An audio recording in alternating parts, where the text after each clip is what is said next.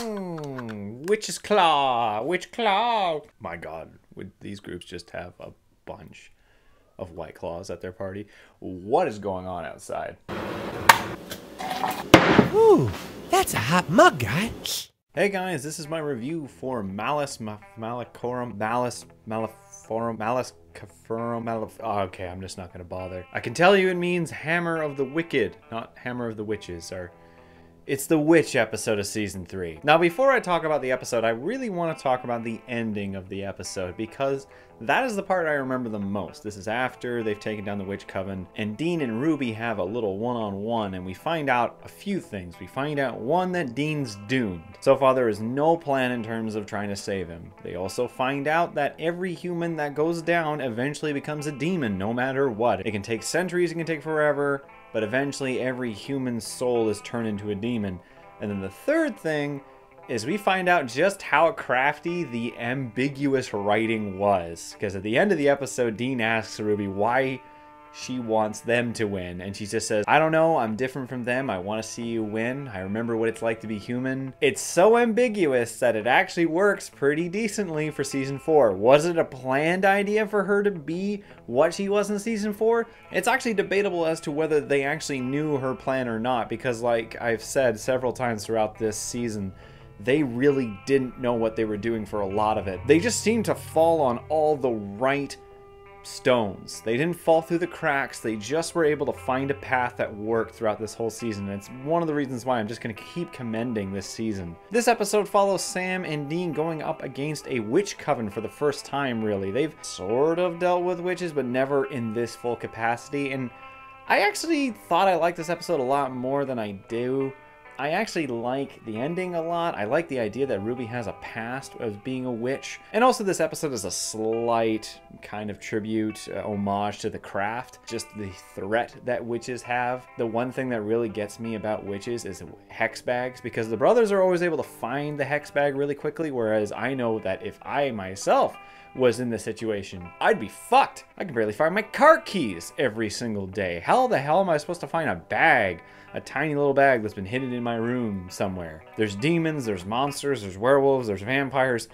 Then there's hex bags, because me trying to find shit is just, whoa. I miss being able to ask my mom to find my car keys. There are some pretty gnarly bits in this episode too, where the first woman is pulling teeth out of her mouth. That's, ah, that gets me a little bit. I like the introduction of how the witches work. I like the idea that they are threats. Like, sure, they're humans, but they've murdered people and they should be taken down just as much. And that's something that's kind of a counterbalance in terms of Sam trying to toughen himself up. Dean is kind of having this weird, like, why are you like this? You're not the way you are. And Sam's like, well, you're gonna die soon, so I gotta try and be like you. It's a little bit more heavy handed than it was in the previous episodes. You can see that they're really trying to emulate the same thing that they've already said, and they can only say it in so many ways so it's not as strong, but I actually still very much enjoy this episode. There's also this one little bit where the husband of the woman who gets killed at the beginning, he's eating a burger at White Rock Beach. He tunes into the radio and the station is 101, which is Rock 101 out here. So I thought that was kind of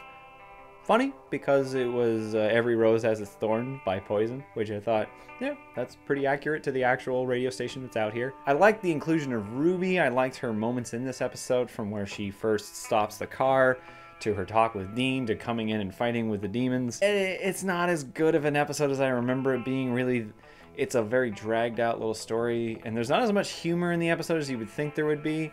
The part where Dean is saved by Ruby is a bit awkward, where she walks out and he's just like. They kind of try to replicate the back and forth banter that he had with Bella in Red Sky at Morning, and it doesn't work as quite as well. So in the end, I'm gonna give Malus Maleforum a four out of seven. And just a little side note, the woman who, as she proclaims herself in the episode, plays Mrs. Renee Van Allen. She actually put me on a very strange path of weird backwards memories, and I remember that she actually starred in a 2003 film called Foolproof that had Ryan Reynolds before he was big and famous. Don't know why, but I knew I recognized her from somewhere. I haven't even seen this movie, but I remember this trailer being everywhere back in 2003. And then I asked you guys to give me your comments about the last episode, so let's read some off. Malus Malacarum, Malus Malif, oh fuck off, is a mixed bag for me. The effects, witchy vibe, and getting a backstory on Ruby was all good. My problem is Astrothum and Tammy's body seemed more powerful than Azrael from stopping a bullet from the cult in midair. Oh yeah, I forgot about that bit. And then there's Azeroth mentioning uh, he to Sam as the new leader of, of, the Risen to lead the demons, and that he wants Sam eliminated. I'm guessing if the writer's strike didn't occur, we would have learned more about this demon who was trying to kill Sam. It was also great to learn about how demons become demons through losing their humanity in hell. The last nitpick I have of this episode is, is, that it makes more clear of how hopeless Dean's situation is. Throughout this whole season, it makes pretty clear that Dean won't survive and he's going to die no matter what they do, and it really takes away from me personally the tension of what Dean could be, uh, could have been saved and not go to hell. I kind of disagree with that because it just helped verify for me at the time watching this as it was happening live that wow how the hell is he going to get out of this? Are they actually going to kill dean? Are they actually going to do it? I kind of thought that they weren't going to. I didn't think they would do it. Little did i know how wrong i would be but at the same time how right i was. Supernatural christmas is definitely a 7 out of 7 malice is okay there are some funny moments like how the Coven didn't realize what they were doing and was just trying to get lower mortgages. Ruby's reveal about how demons uh, become uh, and Dean going to become one when he gets to hell was a big had a big impact. But the demon woman was kind of weak and Link kind of cheesy part of the episode for me. Funny you should mention about how they technically never had holidays. Oh, and have fun watching the next episode when it comes out. It's going to be basically them celebrating all the birthdays, Thanksgivings, Christmases in one. Plus Jensen Ackles dressed in a cartoon. Oh wait, he's talking about the late, the newest episode for season 15. That's coming soon, isn't it? Didn't wasn't it in October? Fuck, I talked about it, and this tells you how much I've been paying attention. Supernatural is set to return filming on August 18th to September 11th. An interesting thing I noticed in an interview is that Jensen says episode 19 is the season finale, while episode 20 in this series is a finale. I'm wondering if that's how that's going to turn out. I should probably do a video about that. Anyways, guys, those are your comments for Malice. Uh, I'm just fuck it. I'm not gonna say it. The next episode is Dream a Little Dream of Me. So make sure to give me your comments about that episode, and I'll read the best ones off in the next video review. Otherwise, that's all from me. Hope you guys enjoyed the video. If you did, leave a like, and if you're interested in more, subscribe. And I'll see you guys in the next one. Thanks for watching the video. My name is Nitz, and you might remember me from the animated cult classic TV show Undergrads. It's been a while, but I'm happy to say the Clique is finally getting back together in an all new movie, thanks to a successful Kickstarter campaign.